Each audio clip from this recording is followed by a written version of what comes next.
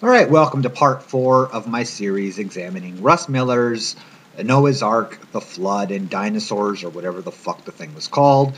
I was going to wait until I got back to Anchorage to finish this, but I was looking at the, the clips that I'd taken from the original video, uh, from his video, and I really only had a few clips left, so this is actually going to be really short. And unfortunately, I should have done it when I did part three. I should have just finished it up with part three. I don't know why I didn't.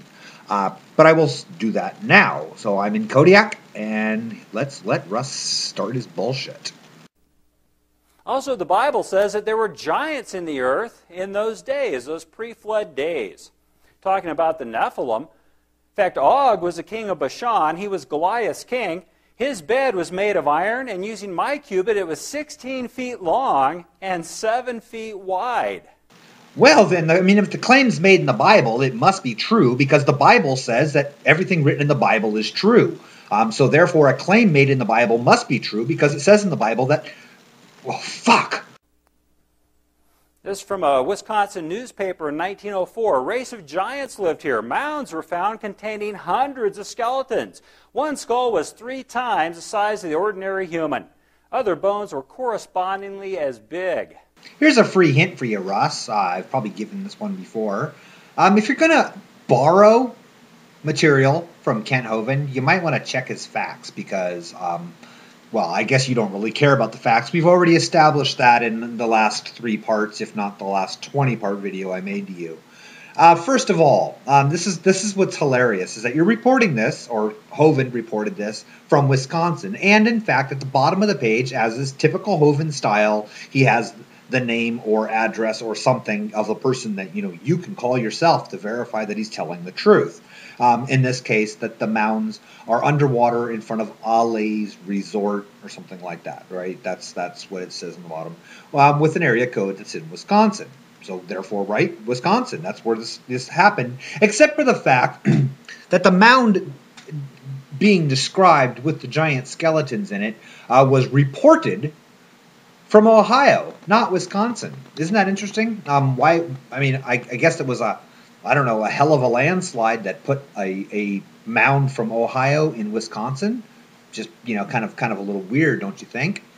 Um, and the, but the quote that you actually use about the giant skeletons is actually from a is from a book. Uh, the edition that's online, you can freely get it on Google Books, by the way, uh, by Henry Howe on the uh, history of Ohio um, which is where that citation is mostly from, although slightly altered. Um, again, you can get it on Google Books. I will put a link down below. Uh, you can download the PDF and read it yourself.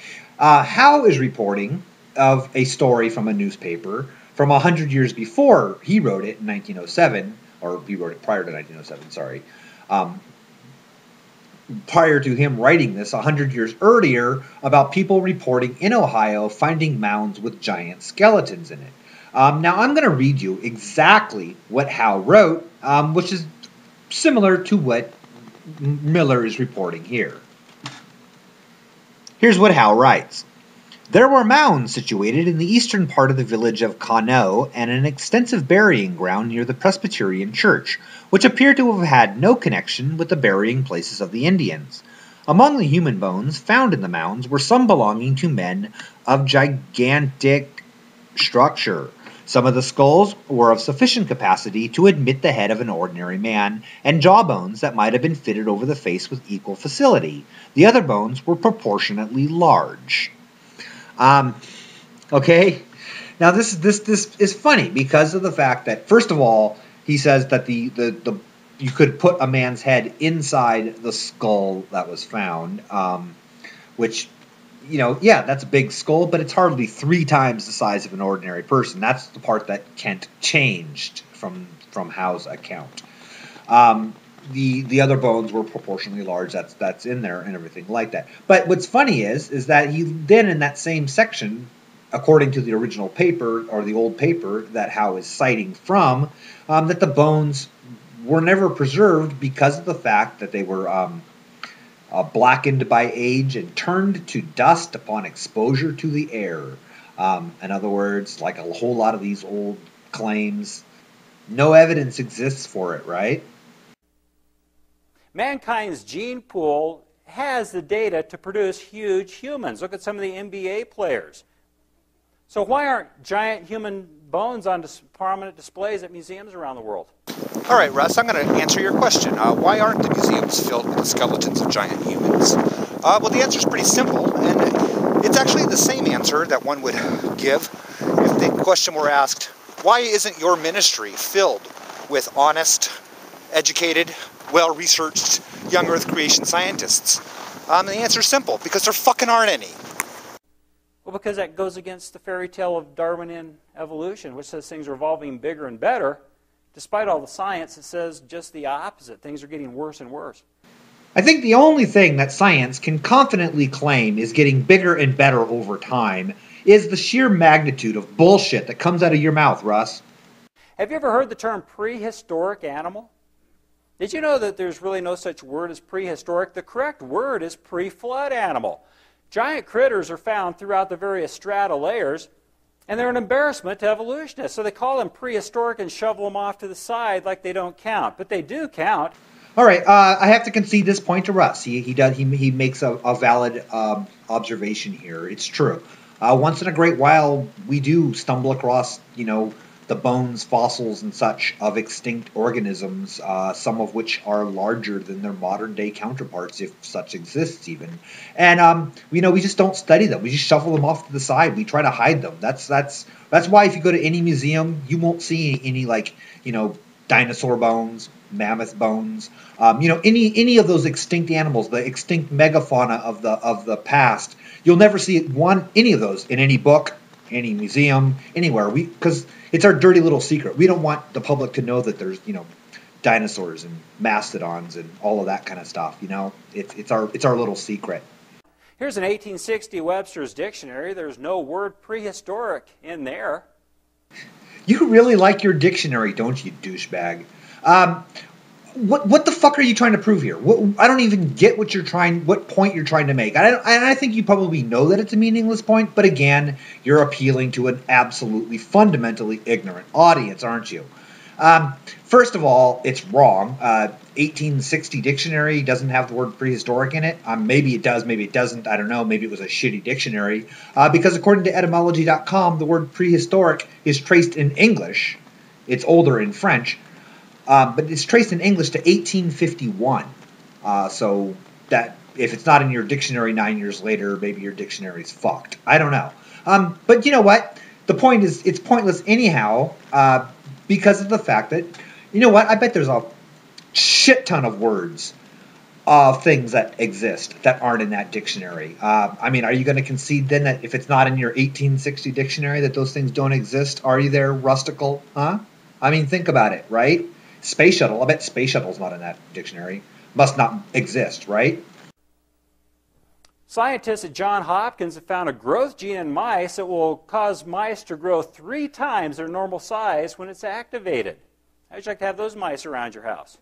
So tell me, Russ, are you uh, functionally illiterate, uh, fundamentally lazy, or you know just lying again, or maybe copying from a source you don't quite understand? Whatever the case may be, the paper you're talking about by McPherron et al. from Nature 1997, again linked down below, uh, is about a myostatin inhibition gene in mice that causes their muscle mass to nearly double, not mice three times normal size. Again, it, that's nowhere in the paper. That's not there. You're completely, you're just talking shit. Bats have been found fossilized that were the size of sheep with 15 foot wingspans. You couldn't go outside after dark with bats like that flying around, could you? Have you seen Uncle Bob? No, he went out after dark the other night. We said, Don't go out there, Uncle Bob. He didn't listen to us. We think the bats got him. Bats the size of sheep with 15 foot wingspans, Russ? Um, I'd love to see a source for that because, uh, well, actually, I know you can't provide one because there's no such thing. We're taught that fossils take millions of years to develop. Let me ask you a question. Who's ever seen a fossil form over millions of years? Nobody. That's a religious belief. Now, if I can show you just one example of something fossilizing in less than a million years, then I have scientifically refuted that teaching, correct? This is my favorite fossil to show people. This cowboy boot was made in 1950, according to the manufacturer. It was found fossilized just 30 years later. Is 30 years the same thing as millions of years? No, we've just refuted that false teaching. The sad but interesting thing is a poor cowboy's fossilized foot and ankle, it's inside of the boot. So, why are textbooks still teaching that these things take millions of years to form? First thing there, Russ, nobody claims that fossils have to take millions of years to form. Um, you're just making that shit up. The fossils can form much, much quicker than that. Uh, fossils can form in a few years under the right circumstances. Uh, that's completely a stupid statement. And the length of time it takes for something to fossilize does not in any way a problem for the theory of evolution. You're just saying that shit again to your absolutely scientifically illiterate audience. Um, but I had to laugh when you brought up the limestone cowboy. Um, you say it's one of your favorites. Well, it's one of mine too. Um, sometime, by the way, guys, I will be. I want to do an extensive video on the limestone cowboy where I'm actually going to try to duplicate it. Um, there, there, there's a purpose behind that. Uh, one of the things about that that that slays me is if you look at the. I'll put a link down below to Ian Juby's website where he's got some high quality, high resolution photos of it, so you can see some some good detail on the bones themselves and on the matrix around the bones and, and figure out what they are. Um, it, the point of it is, is that if you ever see a human skeleton, uh, look look at the tibia and fibula of a of a human leg bone. Um, look how small they are. Look how small in diameter. Even the tibia, the larger of the two, um, is still a few centimeters in diameter. Um, those bones are extremely heavy and thick.